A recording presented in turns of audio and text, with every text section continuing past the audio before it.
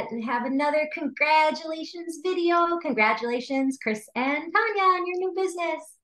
Thank you. you're welcome. Thank you. So tell everybody if you're comfortable where you're from and then what the business you decided on is. Yeah, so we're in Covington, Louisiana, Okay. and we decided to go with Game Day Men's Health. All right. Um, after looking at several different, you know, franchises through you that you put in front of us, that one just kind of spoke to us the most. Good, good, good, good. Tell everybody a little bit too, Chris, I, and I know this is going to be more, you're going to be the kind of the face of the business, a little bit what you did before. You know, I think it's helpful. You weren't necessarily in pharma, right? You weren't in medical. And I think that'll make people just feel comfortable about looking at different things. Yeah, you know, I've been in the corporate world the last 20 years. I've only had two different two different jobs. One was with a security firm doing physical security, sales and general management. And then, you know, the last 10 years or so, I've been in construction recruiting, construction staffing, you know, running several locations for that company I worked for. Yeah. So didn't have, you know, don't have any medical experience, you know, wasn't sure what I wanted to get into. And when I saw this opportunity, it just it, it seemed like it could work and it was going to be a great fit. Good. And Tanya, talk a little bit. I know in the beginning you were kind of like, I don't know, Lisa. I'm not sure about this idea. and so right.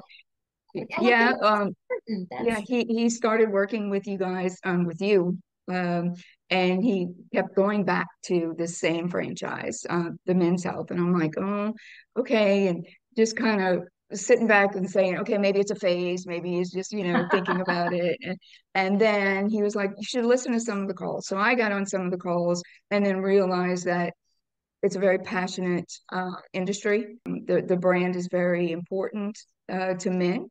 Uh, and, you know, he, he really he wants it. He's all in. So I'm very excited for him and for us. Um, but you know, I'm from the corporate world as well, and uh, this one's going to be his baby to to handle and move forward. So thank you for all your help there. Ah, you're welcome. Thank you, and thanks for kind of coming in. You know, because sometimes spouses are hard. You know, yeah. either either one. If you start with one, it's like okay, it's it's hard on Chris to try to explain and it's hard. So I mm-hmm. appreciate you being open-minded and saying, all right, let's let's take a closer look because without the support of that, it, you know, never would have happened. So well, um, thank you. Absolutely. And we looked, I was I usually like to talk a little bit about the timeline. I think realizing that we met each other like early summer, right? Or midsummer. That was into May, maybe beginning of June. Right. And so, and right now when we're filming this, it's October. And so I think it's important. I just like to point out in these that mm-hmm. this isn't a sprint. This isn't mm-hmm. like a here's your brand, off we go. Like there's education and there's a slow kind of as you learn more, you're more open to things, right? And so if you I think to- what I would say for you know anybody who is going to view your videos and and potentially you know interested in working with you in the future is it can be intimidating when you first start looking at it or flirting with the idea of owning a franchise. But the more you get into it and working with somebody reputable like yourself who's going to help you through that process, it it was very comfortable.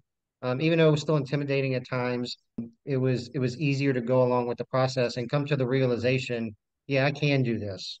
You know, when you start talking to the financial guys that you refer or to the attorneys that you refer, and you start listening to them, it's not as intimidating knowing knowing you've got that assistance and you don't have to go do it all yourself. Mm-hmm. Right, right. Thank you for saying that because that's it's hard.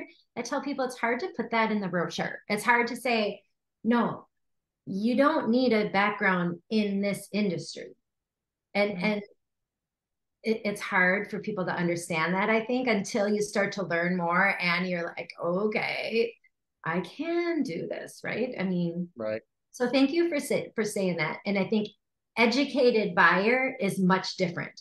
So you're definitely by the time you're writing that franchise fee check you're an educated buyer. You it's not like you learned about that brand two weeks ago and yeah. sign me up, you know. So so good for you. Congratulations yep. on taking the time and for talking to the different people along the way. Because it can be a lot of like I'm next to you, but okay, now you got to go talk to this guy report back. And now you got to talk to this girl and report back. So thank right. you for kind of participating in all of that in order, you know, to have a successful outcome. So I appreciate it. Yeah, right, you're welcome. Let's, let's uh let's do this. Right. Yep. One, two, three. Congratulations. okay, mine's not going. I got it done.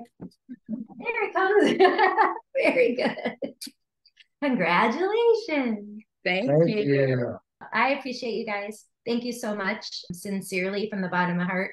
Um, the only person besides you that wants you to be more successful is, is probably me. Right. Right. I promise. I'm your biggest fan. So. Well, thank you so much for that. And I appreciate your help. Yeah, for the support and guidance. Absolutely. Thank you.